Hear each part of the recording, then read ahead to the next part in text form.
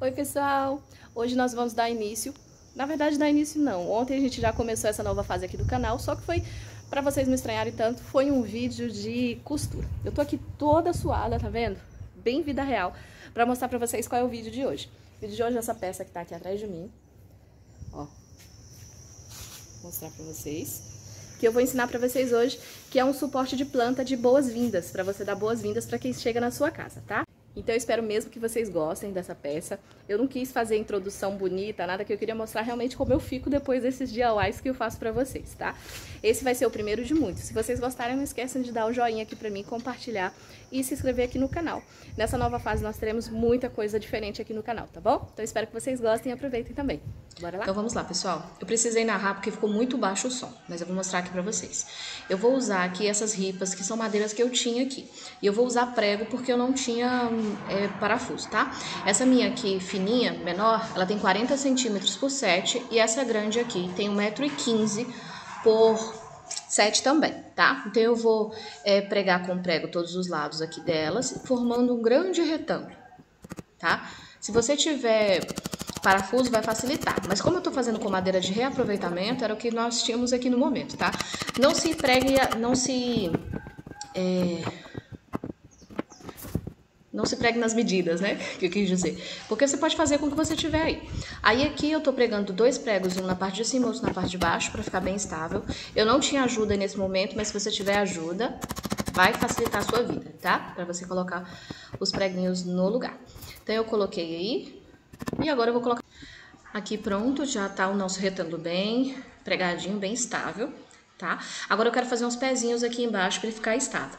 Então eu peguei o resto de madeira que eu tinha aqui, que eu reformei o rack aqui de casa, que tinha sobrado, e parti no meio. Ela ficou com é, 13 por 18. Então eu vou pôr assim no comprimento de 18, sobrando um pouquinho de cada lado, para fazer um pezinho para ela ficar estável, tá? Ela é um pouquinho mais grossa, mas como eu disse, não se prendam nas minhas medidas, façam as medidas que vocês têm, tá? Eu vou pôr ele em pé porque eu quero pregar o prego de dentro para fora, ok? Então eu vou posicionar aqui, me perdoe com a câmera balançando, porque eu não estou acostumada a gravar lá fora com tripé. E nesse dia eu gravei com o celular, que minha câmera estava estragada. E aí agora eu vou pregar alguns pregos aqui para ela ficar bem estável. Tá? Eu deixei ali um espaço ó, de quatro dedos para dentro e dois mais ou menos para fora, para dar estabilidade. Estou medindo ali para todas ficarem iguais, ok? Gente, não esquece de comentar aqui o que vocês acharam. Quero trazer outras peças assim de marcenaria com é, madeira de reaproveitamento, ok? Espero muito que vocês gostem. Se vocês gostaram, vocês comentem aqui embaixo o que vocês acharam. Ó, eu tô me expondo aí, aparecendo toda feia. Preguei um lado, agora eu vou pregar o outro.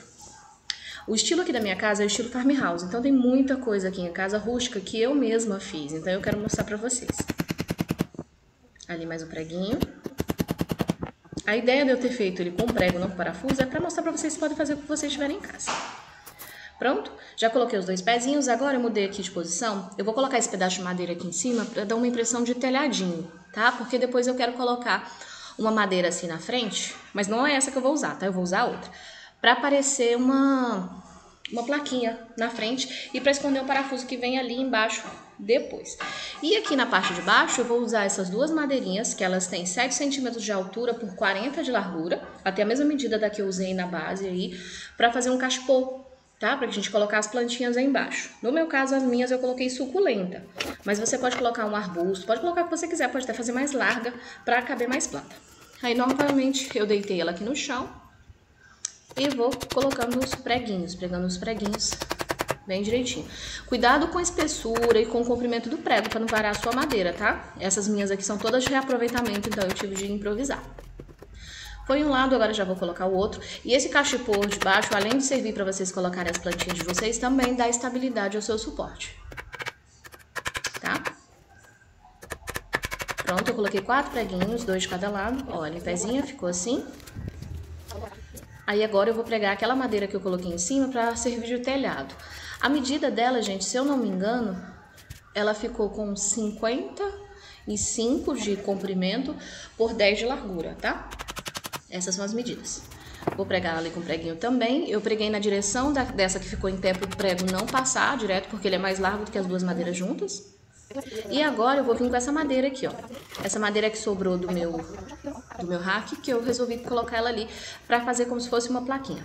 Aí eu vou colocar ela aqui no chão. Eu achei que ficou mais bonito. Depois eu quero achar, comprar aquela caneta pra parede, né? Caneta de giz pra escrever aí, ó. Pronto. Aqui na parte de trás eu não coloquei nada. Agora aqui eu vou colocar aquele ganchinho, que é um prego que tem uma voltinha. Pra poder pendurar o cachepô da minha planta.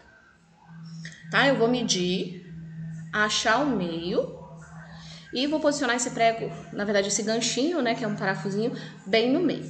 Como eu faço? Eu ele aqui no chão, de cabeça para baixo. Vou bater um preguinho só um pouquinho. Agora eu tiro o prego e rosqueio essa peça. Se você tiver a furadeira, fica mais fácil com a furadeira. Mas eu achei prático assim com o preguinho mesmo. Minha furadeira estava descarregada nesse, nessa hora. Pronto, rosqueei bem, porque vai ficar é, pendurado aí. Agora eu vou colocar em pé e mostrar pra vocês que ela tá pronta. Praticamente, né? Olha. Aí agora, gente, aqui eu vou passar uma mistura de cera para piso incolor com tinta preta. Você pode usar qualquer tipo de tinta. Aí eu tô usando uma tinta para tecido, que era a que eu tinha aqui em casa. Que vai dar aquele efeito de madeira envelhecido, um efeito de betume, tá? Eu coloquei duas colheres de cera para uma de tinta. Então, medida de duas para um, para uma. Tirei ali a poeira e agora eu vou passar essa cera em toda a minha peça principalmente nessas partes mais claras, porque essa parte onde mais larga onde eu vou fazer a plaquinha, ela ela já estava meio é, mofada, meio escura, né, do tempo. Então não precisei de passar muito. Eu passei mais nas laterais que a, a madeira era mais clara. Mas aí você vai dosando como você preferir. Pronto, aqui ó, a gente já passei a cera nela toda, ó, como ela ficou. Agora eu venho com um paninho seco e vou passar nela toda lustrando, tirando o excesso de cera, que afinal isso é cera, você precisa sempre dar uma lustradinha, uma limpada. E isso ajuda também a espalhar o restante da cera e da tinta e para vocês visualizarem onde está precisando de mais, tá? E agora vocês vão ver o efeito final da minha peça, como ela ficou.